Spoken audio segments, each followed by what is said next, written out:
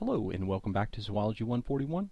Today we're going to start the last chapter of the semester and that's going to be on the special senses. In today's lecture we're going to cover olfaction and gustation, that is smell and taste. And we're also going to cover hearing. There will be a separate lecture dealing with vision. Okay, the senses that we're covering in this chapter are the special senses, and we call them the special senses because they're all located in the head. That is, they are all cephalized. And so the special senses include our sense of smell, which is olfaction, our sense of taste, which is gustation, our sense of hearing, and also equilibrium and vision. And so one of the questions that might pop up on the exam is which types of sensory receptors are used to detect each of the above stimuli? For example, what type of receptors do we use to detect smell? Well, the answer for smell is chemoreceptors. Chemoreceptors, remember, detect chemicals that are either in the air or dissolved in saliva. And so both olfaction and gustation make use of chemoreceptors. On the other hand, hearing is a sensation where we're sensing vibrations in the air that are moving from the external ear to the middle ear to the inner ear. And so here we have mechanoreceptors called hair cells that are responsible for transducing that stimuli. We also have mechanoreceptors in our vestibular apparatus, which is used to detect equilibrium. Now, there's two different types of equilibrium, and we'll talk about those later on, but both of those make use of mechanoreceptors similar to the hair cells that we saw in hearing. And finally, vision is a sense that processes light stimuli that are coming in. So the receptors here are going to be photoreceptors, and of course, the photoreceptors are located within the retina of the eye. And so the first special sense that we're going to cover today is olfaction. And olfaction, of course, is our sense of smell. And so smell actually involves the transduction of odorant molecules into a graded potential. So odorant molecules are just molecules that are aromatic, that are volatile, and they bind to the mucus uh, within our olfactory system. And within the olfactory epithelium, these odorant molecules will bind to olfactory hairs on receptor cells. And within these olfactory hairs is where the process of transduction happens, that is, forming that graded potential. Now, as humans, our sense of smell is not so good. It's not as good as cats or dogs, and it's not as good as most mammals, in fact. But despite that, it still is quite acute. We can distinguish somewhere around 10,000 different odors, so that's pretty impressive. And it's also very sensitive to certain types of compounds. We can detect some odors at extremely low concentrations. For example, we can detect minute concentrations of methyl mercaptan in the air. Now, methyl mercaptan is a compound that's produced by rotting vegetation, for example, rotting or fermented cabbage. And we don't come across it that frequently, but it is a smell that we can detect at very low concentrations.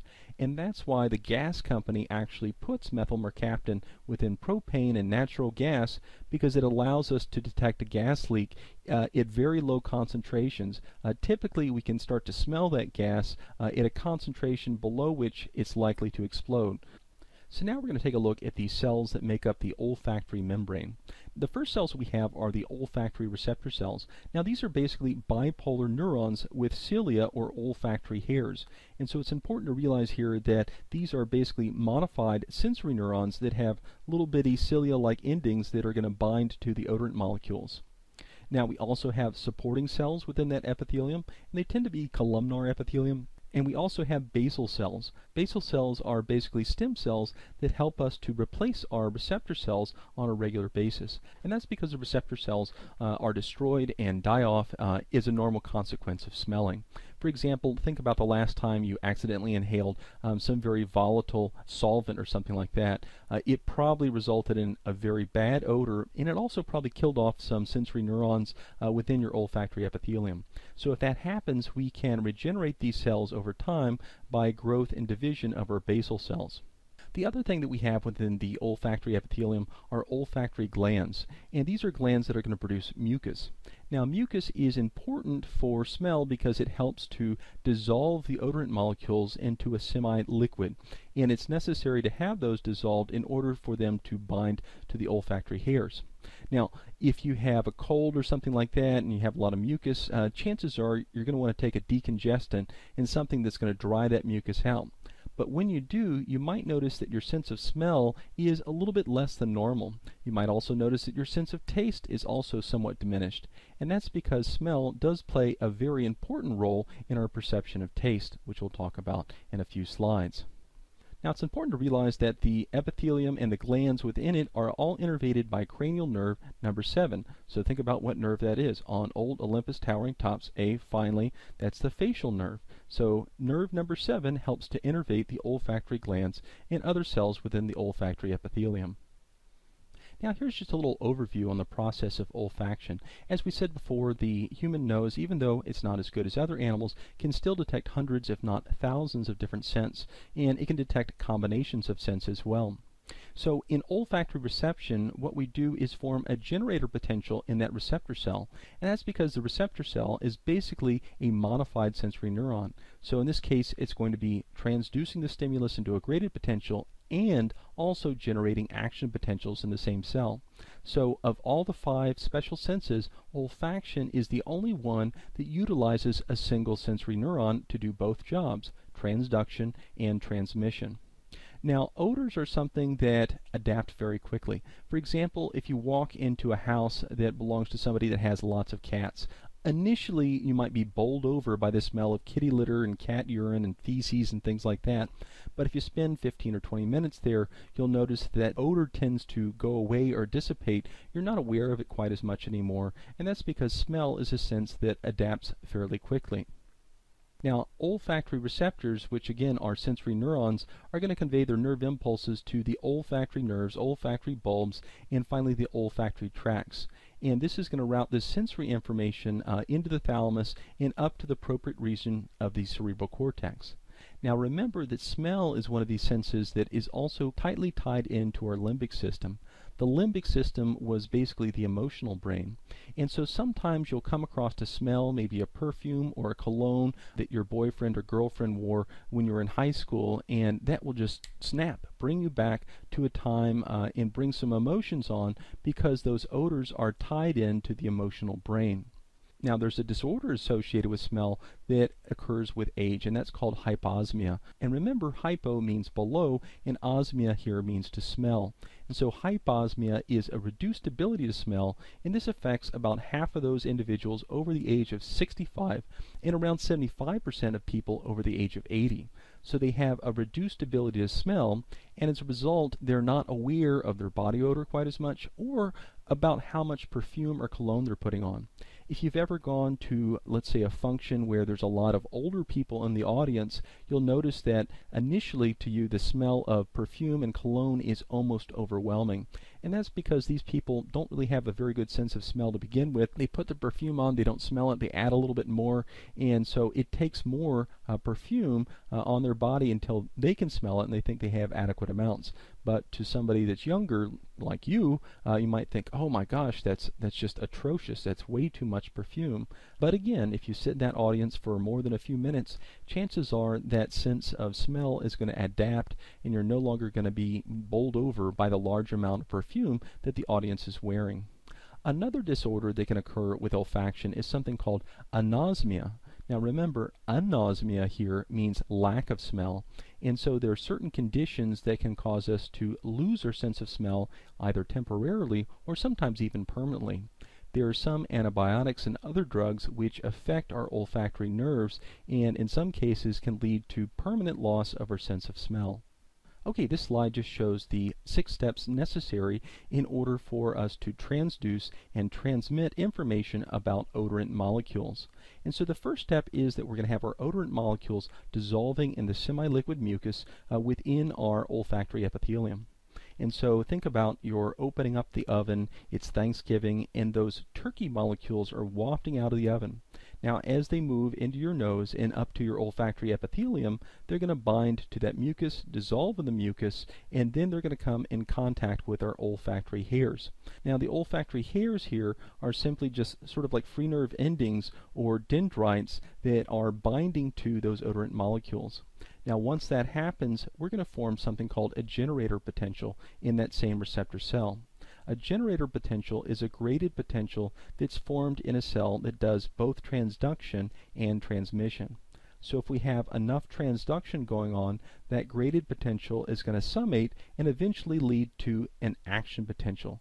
That is a nerve impulse that is generated within the same cell and propagates along that receptor cell axon. Now these axons will go up through the cribriform plate in the base of the cranium, and then there they will synapse with secondary neurons within the olfactory bulb. Now we tend to call the olfactory bulb cranial nerve number 1, but that's not really true. Cranial nerve number 1 is actually a very short, tiny nerve that links the olfactory epithelium to the olfactory bulb. Now, assuming that our receptor cells have generated enough neurotransmitter, the neurotransmitter will travel across the synaptic cleft, stimulate those secondary neurons, and those secondary neurons within the olfactory bulb will fire off their own action potentials, which will be transmitted uh, towards the, well, eventually the cerebral cortex. But remember, a lot of times we're going to go to a relay station, for example, the thalamus first. Okay, the next sense we're going to tackle here is gustation, and gustation is our sense of taste. And taste here requires the dissolving of substances which are called tastants in the saliva. So just like olfaction, we are detecting chemicals, but these chemicals must be dissolved in a liquid in order for transduction to occur. And so scientists have described five primary stimuli uh, to the gustatory cortex. So we have five tastes, sweet, sour, bitter, salty, and umami. Now think about why we have the ability to detect these five different tastes. And I'm going to tell you it has something to do with evolution. Our ability to detect different types of food molecules and our preference for these molecules has arisen because of the process of evolution. For example, think about foods that are sweet. What is in foods that makes them sweet? Sweet foods have lots and lots of monosaccharides and disaccharides. That is, they have sugars. And so our ability to detect sweet things uh, helps us to identify foods that are high in sugar. And remember, sugar is an energy source. Now, on the other hand, sour foods are foods that are somewhat acidic. For example, citrus fruits are acidic, and so our ability to detect sour there tells us that, wow, this is acidic, I don't want to eat too much of it, uh, I can get an upset stomach. But the other thing that sour foods tell us is that not only is it acidic, but sometimes these sour foods, like citrus, are associated with vitamin C. Now let's look at bitter. What kind of foods are bitter? We don't really have anything shown here, but in Hawaii, a lot of people talk about bitter melon, and that's true, and that's definitely an acquired taste.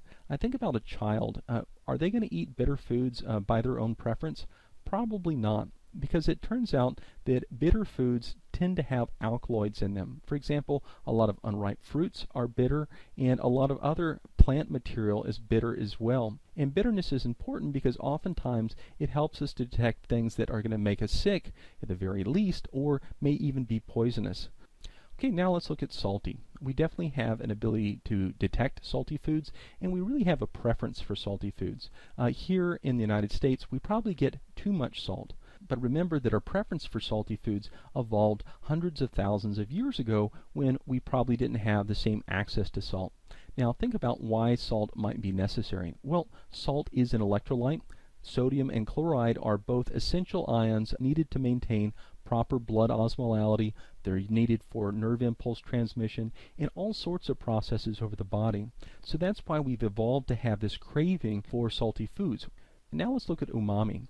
Uh, of all the five tastes, umami is the one that was most recently discovered and named, and as you might guess, it was named by the Japanese. And so umami here sort of means savory.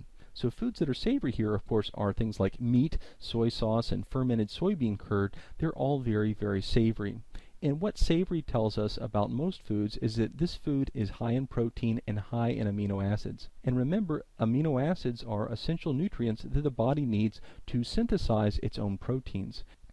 Now, you might be saying, well, I don't see other tastes on here. For example, I don't see spicy. Spicy is not really a taste in that we don't really have taste buds that detect spicy per se.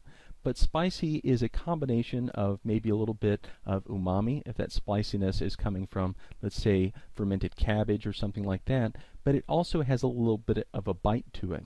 And that bite here is actually stimulation of nociceptors. So when you're detecting spiciness, you're actually detecting pain. We do have nociceptors uh, within the epithelium of our tongue in our oral cavity. And so when you taste something that's spicy, like habaneros or something like that, that spiciness is actually being detected by the nociceptors or pain receptors in our mouth. So as you probably already know, the receptors for taste are found on the tongue and they're found within something called taste buds. Now taste buds are actually microscopic structures. You cannot see them with the naked eye, but they are located on larger structures that you can see with the naked eye. And these structures are called papillae. And a papilla is simply a bump and we have several of these bumps along the surface of the tongue. A lot of them are back in the posterior two-thirds of the tongue, but we also have them uh, other places on the sides of the tongue and elsewhere within the oral cavity. So the papillae contain the taste buds, and the majority of papillae in the human mouth are called fungiform papillae because they're sort of mushroom shaped. Now, if you look at other animals, for example, cats, they'll have a second type of papillae called a filiform papilla, and these papillae uh, do not really have taste buds on them, but they are cornified and horn-like, and they tend to point backwards into the mouth. And so think about the last time you got licked by a cat, and what did that feel like? Well, probably didn't feel too pleasant because cats have a sandpaper-like tongue because of these filiform papillae. The papillae themselves are, like I said, are very cornified, and the purpose of these papillae are to help with grooming, that is pulling excess hair off the body, and they're also important for licking the last little bits of meat off a bone. So now let's take a closer look at our fungiform papilla. Now the fungiform papilla themselves are sort of sitting in a recessed area, like a little recessed moat uh, within the tongue. So surrounding this papilla would be a very narrow moat filled with saliva. And on the sides of that papilla would be our taste buds. Now the taste buds uh, get access to the outside saliva by tiny little pores that are in the sides of the papilla.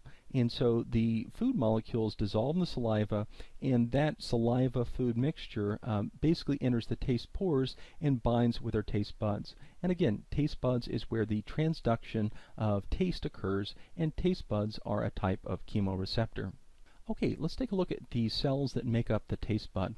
Now, first of all, we're going to have supporting cells. Supporting cells just give some structure to the taste bud. They don't have any role in transduction or transmission. The other cells that we have here are our gustatory receptor cells. These are the cells that are shown in blue. And so the gustatory receptor cell's job is to transduce the stimuli of the food molecules and transduce that into a graded potential. So on the surface of these cells we have gustatory hairs which extend out of that little hole uh, in the side of the papilla. And so the gustatory hairs are going to be the structures that bind to the food molecules that are dissolved in the saliva. And of course we also have basal cells here. The basal cells have a regenerative function that is just like what we saw with olfaction. The basal cells are responsible for regenerating new gustatory receptor cells because we're destroying gustatory receptor cells all the time. Think about the last time you took a big slug of coffee and then realized, oh my gosh, that's way too hot, and you burnt your tongue or you were eating really hot pizza out of the microwave, you bit down, and then bam, you blistered your mouth. So anytime that happens, chances are you're killing off a fair number of these gustatory receptor cells. And for a little while, you might have a reduced sense of taste. But over time, we're able to regenerate those cells because the basal cells can form more gustatory receptor cells. Now the big important point here that I want you to realize is that the gustatory cells only do transduction. That is, they are a separate receptor cell that transduces the stimulus and secretes neurotransmitter, but they do not form action potentials. The action potentials here are actually going to be formed in a second cell, which is an afferent sensory neuron. So now let's take a look at the physiology of gustation or taste. So first of all, we have our tastant molecules which have dissolved in our saliva and they're binding to the gustatory hairs on the surface of the receptor cells. Now the receptor cells are then going to transduce that stimulus into a receptor potential. Receptor potential is simply a graded potential that's formed in a specialized receptor cell. Now that receptor cell will then release a certain type of neurotransmitter which will bridge the gap between the receptor cell and the afferent sensory neuron. Now, if enough of that neurotransmitter binds to the afferent sensory neuron, that sensory neuron will then form action potentials. And so we have two different cells here that are helping to uh, transduce and transmit information about taste. The gustatory receptor cell does transduction, and the afferent sensory neuron does transmission. So remember back a couple lectures ago when we talked about the cranial nerves and we said that there are 12 cranial nerves and each of them has a sensory and also a motor function. There was a few that only had sensory functions but the most of these are going to be mixed nerves. And so the nerves that help to transmit our sense of taste are the cranial nerves number 7, number 9, and also number 10. So cranial nerve number 7 was the facial nerve and this helped to innervate the anterior two-thirds of the tongue whereas cranial nerve number 9 was the glossopharyngeal nerve, and this serves the posterior one-third of the tongue. On the other hand, the vagus nerve, or cranial nerve number 10, uh, innervates the palate and also the epiglottis. We do have some taste buds located within these structures. And so the sensory information travels from these sensory neurons to the thalamus, to the limbic system, and hypothalamus, and eventually to the gustatory cortex. Now remember the gustatory cortex is located principally on the parietal lobe of the cerebrum. And so the gustatory cortex is where we first become aware of taste and we also have association areas which help us to recognize and identify certain tastes. Okay, now we're going to go on and talk about our sense of hearing and also our sense of equilibrium. And both of these are transduced within the ear. So as far as hearing goes, the ear is actually divided into three regions. The external ear, the middle ear, and the internal ear. So the external ear's job is basically to funnel sound waves uh, to the tympanic membrane. The tympanic membrane is basically the eardrum. If you've ever stuck a Q-tip a little too far into your ear and all of a sudden you go, ouch, that's because you've touched the tympanic membrane. Now, on the other side of the tympanic membrane, we have the middle ear. The middle ear amplifies the vibrations of the tympanic membrane and transmits them to the inner ear. Now the inner ear, on the other hand, is the site of sound transduction.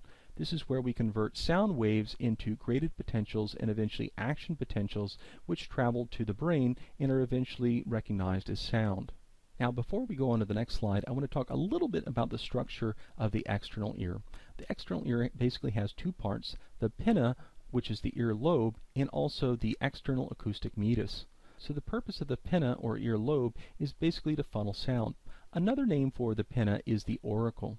And so it's sort of round and cup shaped and it's designed to funnel those sound waves into the external ear canal, also known as the external acoustic meatus. Now as those sound waves travel through the external acoustic meatus or external auditory canal, they're going to start to vibrate the tympanic membrane. So the tympanic membrane is basically our eardrum. It's a very thin sheet of tissue that vibrates very readily as sound waves move in the ear.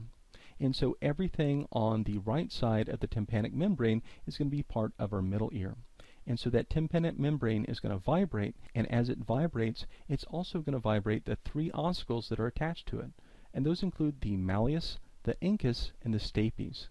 And so these three bones are basically operating in a lever system and transmitting those vibrations from that very large tympanic membrane uh, onto a very small membrane, which is called the oval window.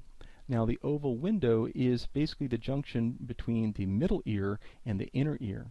And so because we have vibrations of a very large membrane which are transmitted onto a very small membrane, this is essentially going to amplify the sound. Now as we push in on that oval window, uh, we're going to send this vibration into the inner ear. Now it's important to realize that the inner ear is filled with fluid, it's not really filled with air. And fluid is fairly incompressible.